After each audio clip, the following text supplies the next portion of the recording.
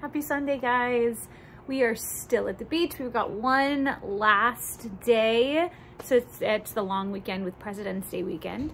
Um, we've been having a really good time. It's been very nice. We uh, just kind of chilling. Some people are working on a puzzle right now. Um, they tried playing uh, some card games that didn't go over well because of a bit of over competitiveness, I guess you could see. I was making dinner um, eh, or getting dinner kind of going and simmering so that it can be ready for dinner time. Um, we've walked down into the beach a couple times. Uh, yesterday when we went there, it was a lot colder than uh, my first video. So we might, we're just kind of waiting for uh, Rayla to wake up from her nap and then we'll probably go for a walk down on the beach again. And um, yeah, so as far as what's going on with that is good. Um, I've been hurting a bit more this weekend. Uh, some of it just maybe pushing myself a little bit more than I should. Um, but my meds also don't really seem to be helping a whole lot when I do start to hurt. So, eh, that's, you know, not a great thing.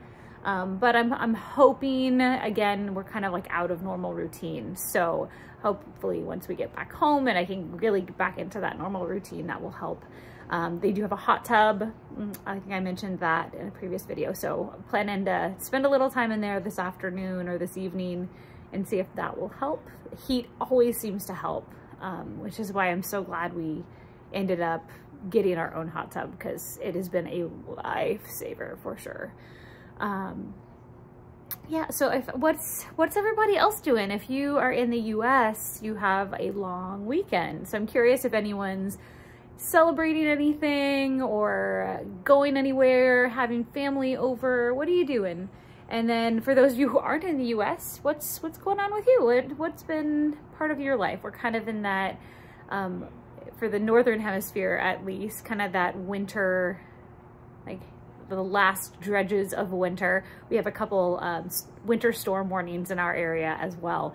So, uh, you know, we're waiting for spring, hoping for spring, but it's not quite there yet. I know Southern Hemisphere, you guys are just kind of coming to the, the closure or the last, um, you know, dredges of summer. So I know it's a bit different down there.